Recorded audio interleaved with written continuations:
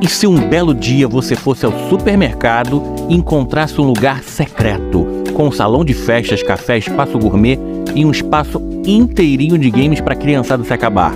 No segundo piso do Mercado Couto da Avenida Cabildo você encontra o Zona Entretenimento. Aqui tudo é liberado quando assunto é diversão. O passe custa em média 40 reais e eles te dão mais 20 de presente. Dá para jogar à vontade em diversas máquinas e a alegria é garantida.